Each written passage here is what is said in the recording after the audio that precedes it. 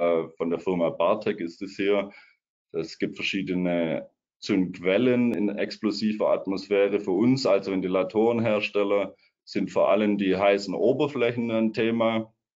Dann die mechanisch erzeugte Funken, da gehe ich später aber nochmal drauf ein, wo die am Ventilator dann auftreten oder auftreten können.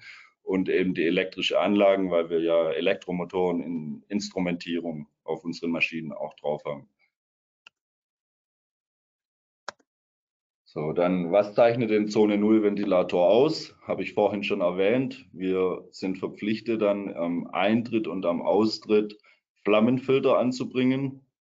Das heißt, die Explosion, die durch diese eventuelle Explosion, die wir gerade gesehen haben, die da entstehen kann durch den Ventilator, die bleibt im Ventilatorgehäuse. Das heißt, die Explosion breitet sich nicht in ihre Anlage aus.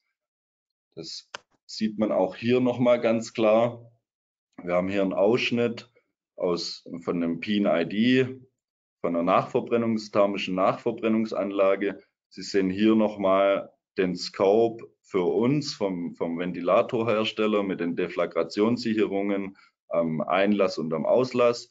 Und Sie sehen aber auch hier, dass der Betreiber noch zusätzliche Sicherungen einbringen muss. Die Idee ist einfach wie simpel.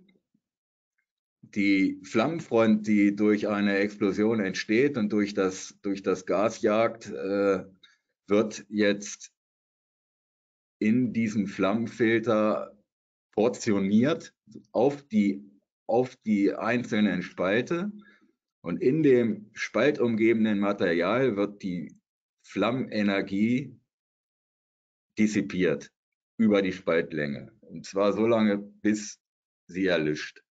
Also der Flammenfilter soll hat zwei Aufgaben. Einmal soll er natürlich das Gas durchlässig erscheinen lassen mit möglichst geringen Verlusten. Ja, das ist immer die Krux dabei.